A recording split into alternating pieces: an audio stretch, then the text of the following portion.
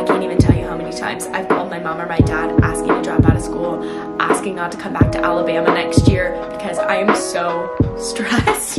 hey everybody, what is up? My name is Gracie. If you are new here, if you are stumbling upon this video, I'm gonna give a little intro into what we are talking about today. So for starters, we are talking about how I am getting two degrees in four years in college. I am a junior, third year at the University of Alabama studying marketing. For my undergrad, I am majoring in marketing with minors in international business and management. And for my master's, I am also doing marketing, but with a concentration in digital and social media. Yes, it is a mouthful to tell people. So basically, I'm in this program called the AMP program here, or Accelerated Master's Program, where in my four years in college, I will be earning both my bachelor's and my master's. But so many of you guys are curious about what this program is, how I'm able to get those degrees, and a bunch of questions like that. So I left a question box on my Instagram stories for you guys to ask me any and all questions about this program, and I got an alarming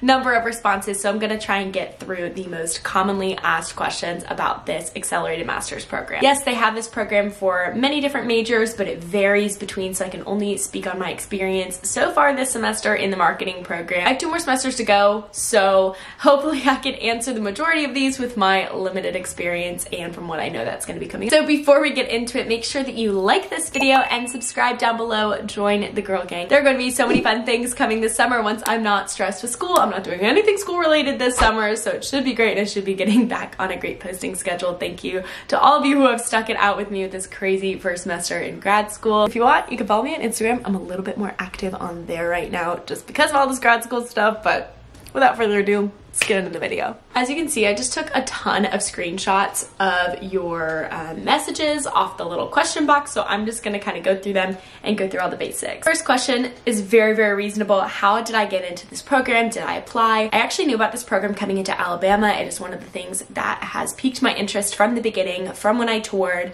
and I knew I wanted to do it. So when the time came, I was able to apply this past fall. You have to have at least 90 credit hours in order to apply or be ending the semester with 90 credit hours or more. I entered into the fall semester with 86 credit hours, so I was four hours short of being able to apply the previous semester. So I was able to apply in the fall of 2020 and got accepted um, because I was going to be ending that semester with 104 credit hours. Basically, the application consists of a lot of things with your resume and your unofficial transcript that they look at. Because I am a UA student, applying to a master's program, you apply like a regular master's, they do waive all testing, which is super nice to not have to take the GRE. So that definitely made it a lot less of a headache. Um, if you were not a University of Alabama student, you were applying in to be just like a master's student, you would have to submit those test scores to be accepted.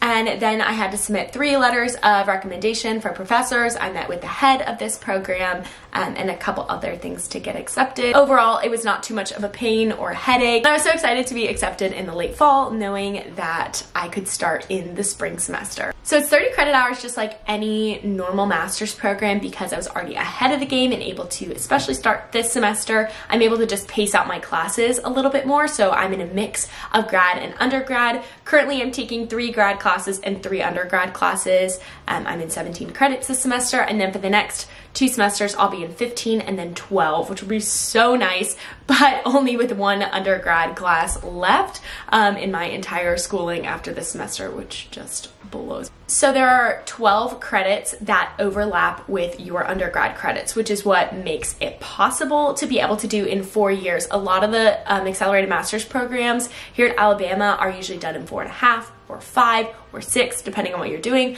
But for marketing, it can be done in four. Rachel asks, do you feel prepared for grad school without having all the tools from undergrad yet?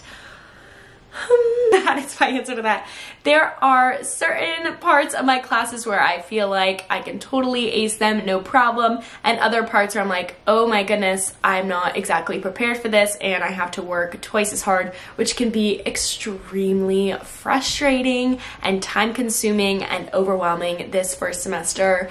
Um, it's also supposed to be my hardest, so hopefully that's true and the next two semesters aren't as bad, but I have been struggling a lot. Uh, still have all A's. I'm also a perfectionist, so maybe I'm not exactly the best person to ask, but of course I wanna keep my 4.0 that I have because these graduate classes do affect your undergraduate uh, GPA until the end of December because of how the classes are overlapping with your undergraduate classes. It's kind of hard to explain without showing you like my degree works, but there are four classes you basically need to take in your undergrad, if you're graduating just with an undergraduate degree in marketing, there's four different classes that go toward that marketing major. And so I am taking the equivalent in master's, so it actually replaces those undergrad and does the grad at the same time. So one class is really the equivalent of two. A lot of people want to know how I'm not just doing normal undergrad and why I'm rushing into a graduate degree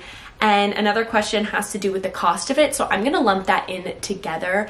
This program in total for all my extra classes is $2,500. So I am getting basically my master's degree for $2,500 and I'm gonna be able to be done in four years. So by the time I graduate college, I really am ahead of the game of most people. And it's a very small program, so I'm not even really competing for jobs with too many people outside of this. Now, do I wanna go into a traditional job after college? I hope not. I want to be traveling and creating content. That is like the absolute dream job. I really hope I can make that happen for a little bit. But if all else fails and you guys like decide to hate me and hate my YouTube and no longer want to support me, I will be ahead of the game for most 22 year olds coming out of college just with one degree because I will be coming out with two. Plus, I'm already ahead. I was gonna graduate early, which is why I added on my minors and studied abroad. And they're like, yeah, you're still gonna graduate early. And I was like, okay, I wanna do this. It just made me wanna do the program even more. I love Alabama and I do wanna spend all four years here. And especially because I'm on a good scholarship, it just makes sense. And I know this program is not for everyone. It's extremely difficult and time consuming. It is way harder than any of your other classes in my orientation for this master's program. They told us to expect to work three times times harder and work three times longer than we usually would on normal classes and you get the same amount of credit. So it's actually insane and it's a little hard to juggle between undergrad and grad. It sounds confusing, but I'll get into that in a second. Um, so obviously not everybody chooses to do this program or even could be accepted into this program. So I just feel really blessed and lucky that I even have the opportunity to be getting both degrees. So I hope that answers the question of how I am able to do it. Um, I know that that's a huge thing. People are like, how on earth are you doing that? Like I can barely get a regular degree in four years. But again, I came into college 24 credits maybe, um, just from APs and dual enrolled classes. And then I've never taken less than like 16 credit hours in a semester. I'm always somehow over the mark, um, which is fine. I like to be busy, uh, but I'm very glad to be getting down to 15 and 12 in the next two semesters because again, currently I'm in three grad and three undergrad. I'm in 17 credits nine of which are the grad classes and the other eight which are undergrad because I'm taking a two hour honors credit um, so it's not a full three I'm just finishing up my time at the Honors College this semester, which I'm also very excited about, and that is how that's working. Paige wants to know if I'm still able to be active in Pi Phi without technically being an undergrad. So this is a great question, but technically I am still undergrad and grad and I'm able to be a Pi Phi until I graduate next spring. That was another question. I am still graduating on track, on time in May of 2022, just one year and one month left to go. Probably my most asked question is what I want to do with my degrees after I graduate. Like I said, I would love to travel full time for at least a year, create content, travel the world, COVID willing. I've already got my first shot of the vaccine. So hopefully by the time I graduate in a year that will be able to be possible. That's my absolute dream job. If not, I love social media marketing. I love influencer marketing. So maybe somewhere in that zone um, or just anything kind of creative, blogging, vlogging, fashion. I love so many different things. It's complicated because I love college. I want to stay in college for my four years, but I'm also at that point where I'm like, oh, it's holding me back from the things I want to do right now, from pouring time into YouTube and into Instagram and into all kinds of other things. So when I graduate and I can really be able to focus full time on content creation, I want to try that for a little bit before, you know, giving up. So far, it's going so well. So hopefully, if you guys want to stick around and subscribe down below, you can stay with me on this journey too. I've touched on this a little bit, but Megan wants to know if I notice a big difference between your grad classes and your undergrad classes. Absolutely. It is, I feel like a completely different world, and that sounds so weird to say, but for my grad classes, they don't necessarily care so much about exams. So, like, you should be learning from exams in your undergrad classes. We're gonna apply to real life, real world situations like so many projects and group projects and client projects. Like I said, clients in India, clients in Switzerland, like working real time and working to create solutions and to figure out other things with innovation projects. So, it is a lot of extra work outside of the classroom, whereas I feel like my undergrad are like compared to that. It's honestly kind of hard to balance because you have so many different things going on. You think you're caught up on something, and all of a sudden there's like three assignments due the next day, or a case study that takes 17 and a half hours. I'm not even kidding. Um, and all of that like happens over the course of a weekend, and you miss out on a lot of things that your undergrad friends are doing. With that, on top of YouTube, I already felt like I missed out on a lot of events with YouTube, but I do it because I love it and I want to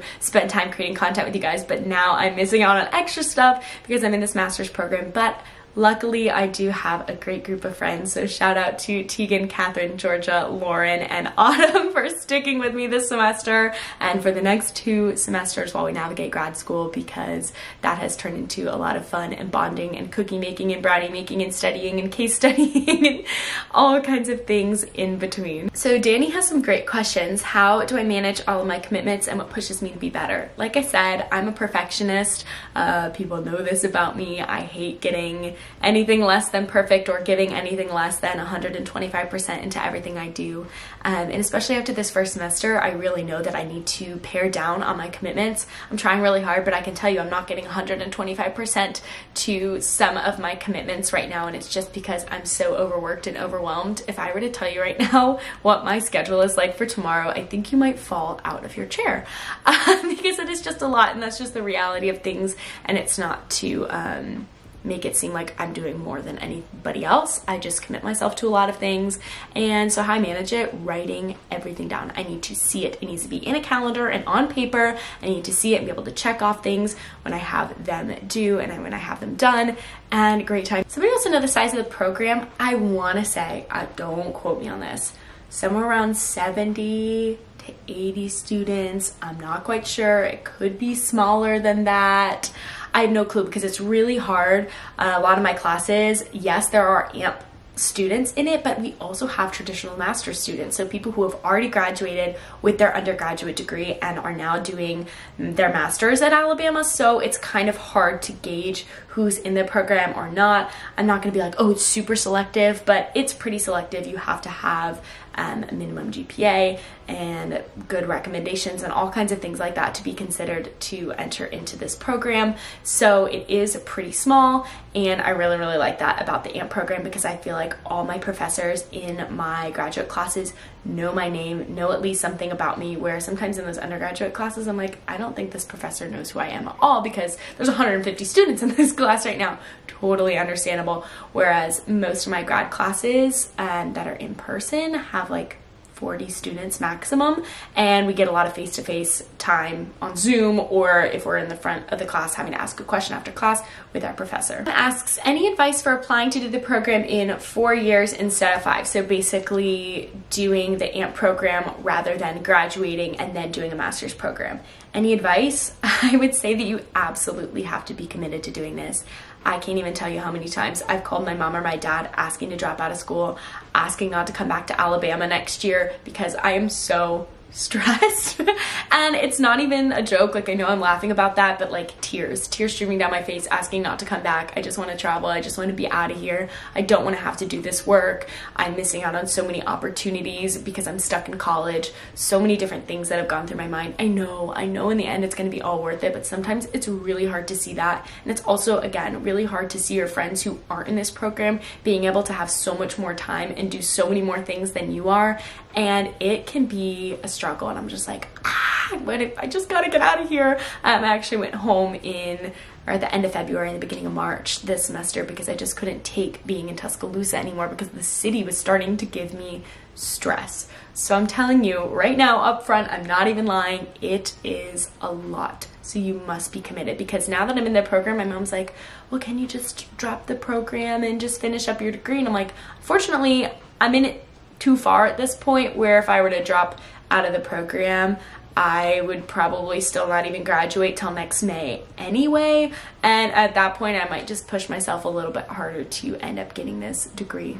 It helps so much that I have such amazing friends in this program and a small group of friends because we can all just cry about it and complain about it together. And trust me, that does happen and quite often sometimes. Um, and I laugh now uh, because the semester is ending and the stress is slowly going away as I check things off of my list. But really, really, truly, you must really want to do this in four years because it's hard. So I feel like I've touched on all of the rest of the questions. I want you guys to know I'm okay. Somebody asks like how I'm genuinely doing. I was not doing so well. Um, pretty much up until a couple weeks ago with this program, but I'm now starting to find my joy back and becoming a little bit less stressed as each day goes on. Three weeks from today when I'm posting this video, I will be back home in Palm Beach and that is just getting me through the next three weeks. I'm also giving myself brain breaks and time off. Like Alabama didn't give a spring break this year. We had a mental health break weekend and we went to Nashville. I went home. I'm giving myself my own mental health break weekend again next weekend um, just to see some people that I love so much and that will bring my spirits up for the last week and a half of school after that.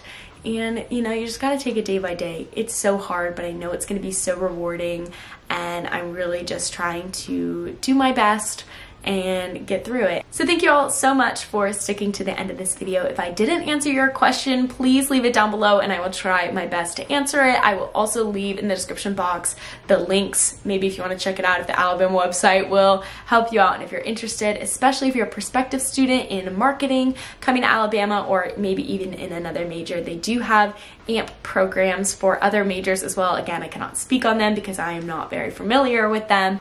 So I'm Gracie. You can follow me on Instagram if you are interested in seeing a little bit more about my life. And I'm always on my Instagram stories trying to be interactive and posting on Instagram so you can see a little bit of that. And you can also subscribe down below for more college, travel, and lifestyle content. I love you all so much and I hope that you have a wonderful rest of the day. Bye!